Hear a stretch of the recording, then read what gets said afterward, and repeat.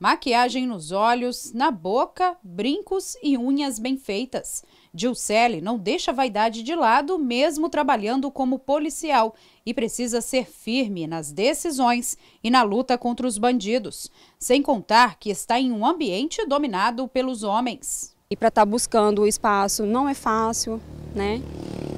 Mas quando a gente quer, a gente acaba conquistando o espaço. É no dia a dia que ela foi ganhando espaço e mostrou para os colegas que, apesar de ser mulher, consegue sim dar conta do recado.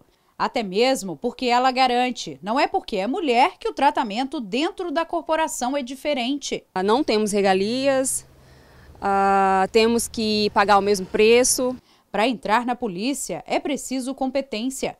Ela passou por seleção para estar onde está hoje faz um teste seletivo para estar tá podendo iniciar o curso. Passando pelo esse teste seletivo, a gente tem um, um curso que dura entre, de, entre 30 a 90 dias, onde tem aulas teóricas, aulas práticas, né?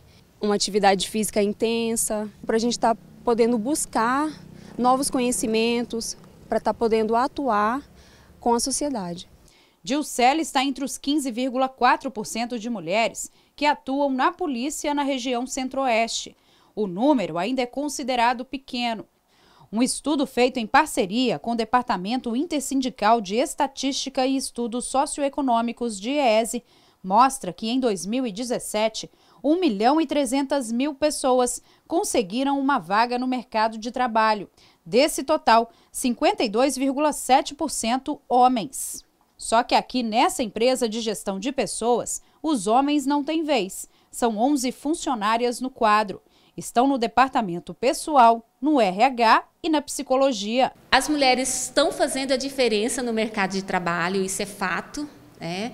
E dentro do meu segmento, nós optamos por mulheres, por quê? Porque as mulheres é, trabalham tem uma maior é, competência, tem uma maior opção de contratação para a área de gestão de pessoas. Então, dentro é, de um dos serviços nossos é o processo de seleção para os clientes, para as empresas clientes, e esse processo a gente oferece, além da ferramenta comportamental, avaliação psicológica. Então, quando nós selecionamos aqui, nós contratamos ou psicóloga ou da área de gestão de pessoas. As mulheres dominaram o escritório. Homens aqui, só os terceirizados. Mas nós temos sim parceiraços, nós temos aqui o, o, técnico de informática, que já é um prestador de serviço de muitos anos nosso, nós temos a equipe de manutenção. Então, nós temos, e além dos parceiros também, dentro da área da mão de obra temporária, que são os parceiros fora de Mato Grosso, e aqui também, nas regiões de Mato Grosso, e também temos os parceiros trainers, porque nós também trabalhamos o desenvolvimento humano. 80,5% das mulheres no Brasil atuam no setor de serviços, 15,5% no comércio e reparação de veículos e 2,7% na indústria. A pesquisa ainda aponta que as mulheres frequentam mais a sala de aula do que os homens. 37,5% delas têm faculdade, fizeram ensino superior, enquanto 32,1% dos homens que estão trabalhando têm o mesmo nível de escolaridade. Além disso, elas também ensinam. No estado, são 8.057 professores, 49,2% são mulheres. Elisângela é gerente de RH e chega a receber por mês cerca de mil currículos. Basta passar o olho para notar o que os dados dizem. Esse candidato, por exemplo, tem apenas o nível médio. Já este outro currículo é de uma mulher que já está no ensino superior. As mulheres elas são mais, elas, elas tendem a procurar mais capacitar, melhorar, né, trabalhar isso, se desenvolver. Hoje a mulher ela cuida mais, ela tem mais essa preocupação do que o homem.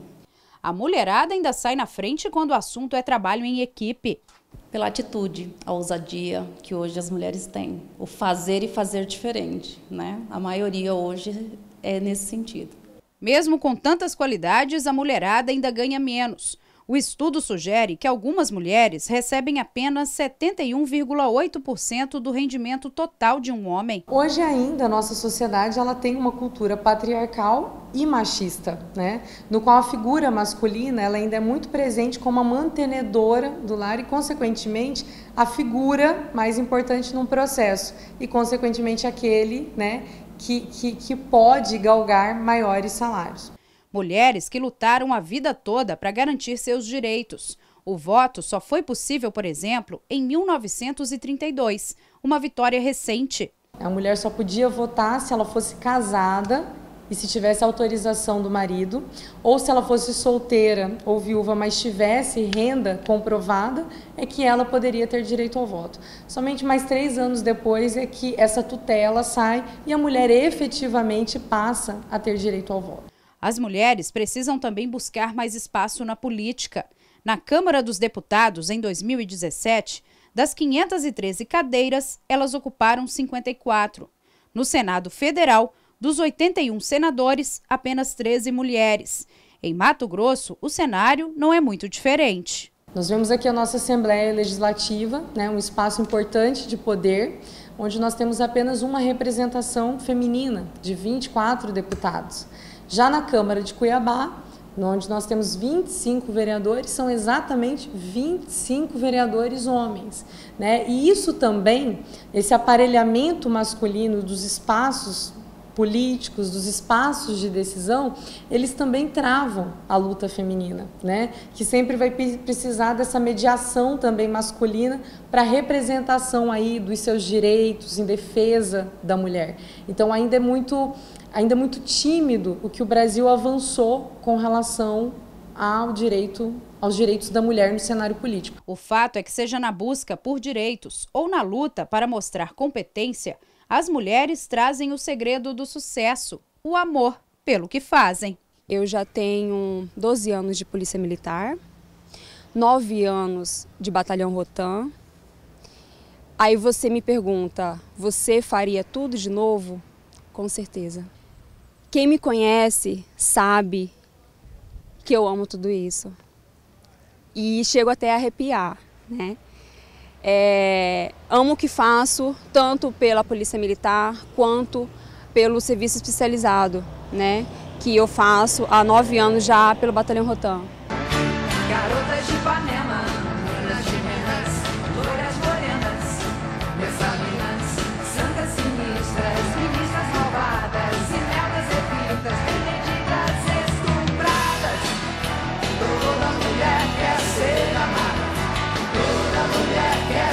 feliz.